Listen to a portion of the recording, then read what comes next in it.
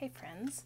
Welcome to day 19 of the Poetry Project. Uh, and those of you who are paying close attention will have noticed that I didn't post any poems this weekend. Uh, I, um, I totally forgot about it.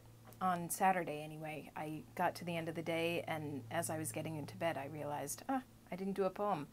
Uh, and then Sunday, I semi forgot about it and also sort of decided, you know what, I'm going to give myself a pass on it.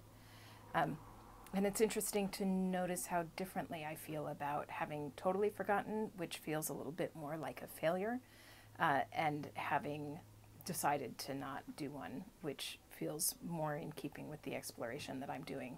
Um, and that's interesting because, in fact, I think they're both quite in keeping with the exploration I'm doing of sort of figuring out how to do a thing every day or what does that mean and what's important to me about it. Yeah, interesting to be learning this along the way. Uh, but I also have a poem for us to talk about today or to read. Uh, this poem is from this book, Earth Prayers, uh, which is maybe the very first book of poetry I, I ever bought for myself. I don't really remember, but I've had it for a long time, I think since I was in high school. And this poem doesn't have a title, um, but the author is Nancy Wood. My help is in the mountain, where I take myself to heal the earthly wounds that people give to me. I find a rock with sun on it, and a stream where the water runs gentle, and the trees which one by one give me company. So I must stay for a long time, until I have grown from the rock, and the stream is running through me and I cannot tell myself from one tall tree. Then I know that nothing touches me, nor makes me run away. My help is in the mountain that I take away with me.